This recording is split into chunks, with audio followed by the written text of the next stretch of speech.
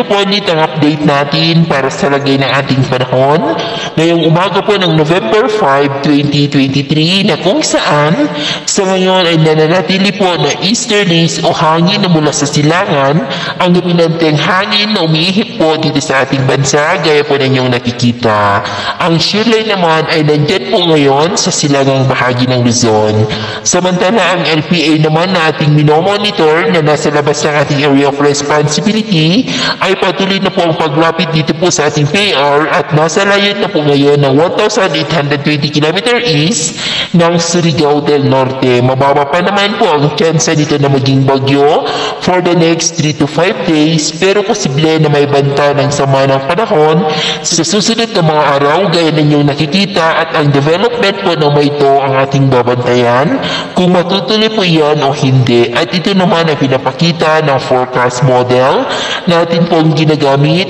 hanggang sa susunod na dalawang linggo.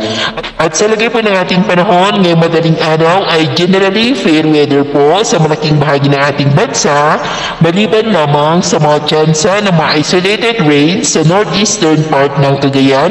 Babuyan Islands, Polino Island, Aurora, ilang bahagi ng Quezon, Bataan, Bicol Region, Palawan, ilang bahagi po ng Panay Island, Bohol, Leyte, Cebu City, Dinagat Island, Sulu Archipelago, Zamboanga at Surigao del Norte, maging po sa ilang bahagi ng Davao. At mamaya po ay sisikat ang araw sa malaking bahagi ng ating bansa, pero po sa easterlies ay maulap ang kalangitan na may mga pulupulong pagulan sa ilang bahagi po ng silangan ng Luzon at Visayas,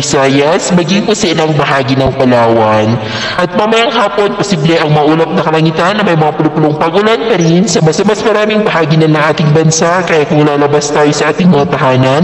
ay ugaliin po natin lagi ang magdala ng kahit anong panangga natin sa init ng araw at proteksyon na rin po sa mga biglaang buhos ng ulan. At sa atin naman po mga baybayin, wala naman po tayong nakataas na ng mga gale warning signals, pero iba yung pag-ingat lamang po kung papalaot tayo para mas makaiwas sa mga sakunang pangkaragatan.